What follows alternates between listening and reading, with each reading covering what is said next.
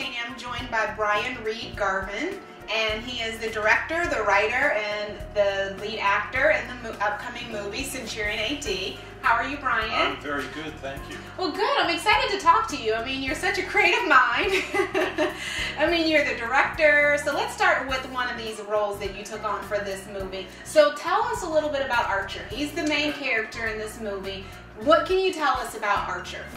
Archer, he's, I, you know, I, I see him as just a super cool guy. Cool. Um, Okay, that's a good way to describe him. Yeah, he's he's laid back. He's been around 2,000 years. Wow, he's old. He is old. Um, he's confident because he's seen almost everything. oh, okay. He's dealt with almost every type of person. Mhm. He's ex-military. Mm. He has served a few times in the current militaries as a healer or a medic, or you know, there's there's a whole backstory on him that I've done, Mhm. just just so I get a better grasp of him. And they, they like they like fun too. Yeah. Um, Already giving you two thumbs up. Yeah, there you go. But yeah, Archer Archer is just um, a real tangible guy who knows his place with God, okay. has a relationship with God, mm-hmm. and can actually um, do good for God as God commands. Okay. So he's in tune with God, and he's going around basically saying to people, "Look, I'm here. God, you prayed last night for help, and here it is. I am He. Mm. You know, and God has sent me to help you." So that Archer, Archer's an interesting character in that fact. Wow. So, he yeah. sounds interesting. 2,000 years old. So, Yeah. kind of curious, when you're playing a role like Archer, you wrote him, so you were familiar with him. How familiar or how similar were you to him? Like, how are you guys alike, maybe in your real life, or what did you have to do to take on this role? Um, that's a good question. Uh, don't know that I, Are you similar to Archer? I. You know, I tried to.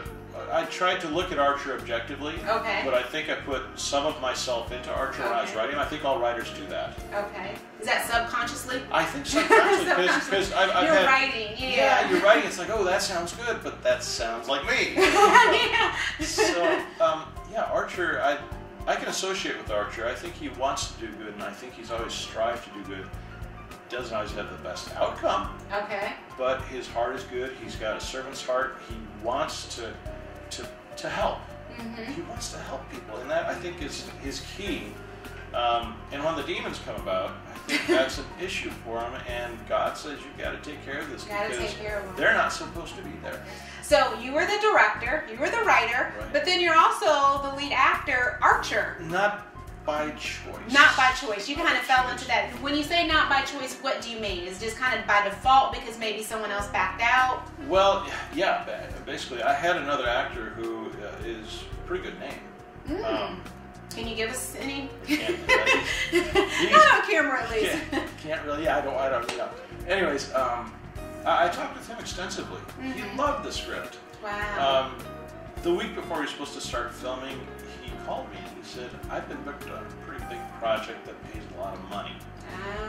Ah. I want to get married and I can't because I need to take this job to get married and do all this." And it's like, "Oh, okay." He goes, "I'm going to be in Italy for a few months." I said, "Okay."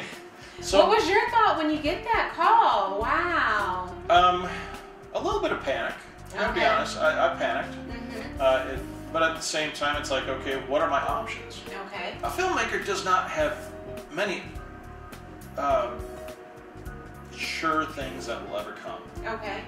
What he does have is creativity and how to go overcome an obstacle that's presented before him in every frame of film that you see.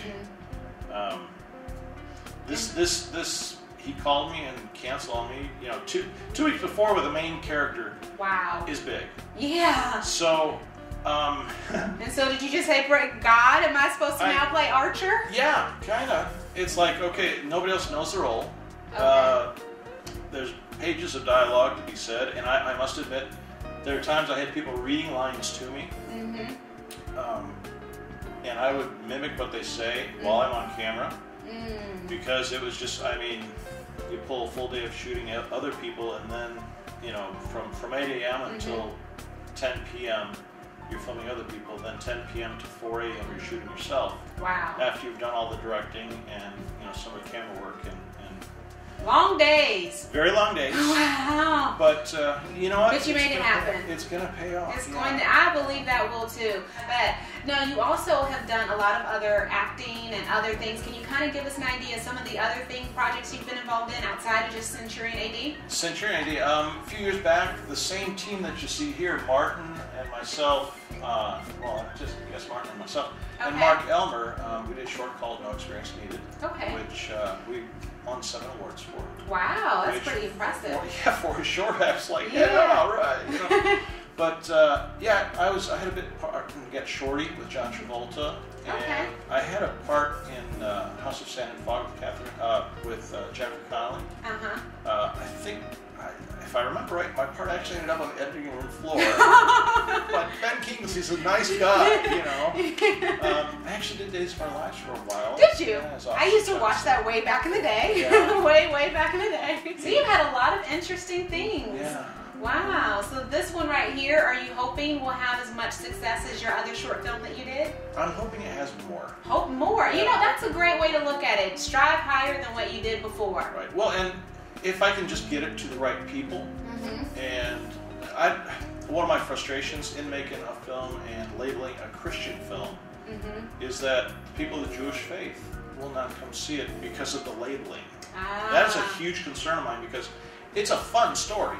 Uh huh. If you don't believe in Christ, it's still a fun story. It's cool. It's demons, angels, you know, battles, you know, and things like that. And um, you know, it's not my intention to insult any faith, Mm-hmm. but to share what I believe in. What you believe. Yeah. Yeah, I'm not trying to. I don't want to. I, I don't want to force the Bible to anybody because that's not how God works.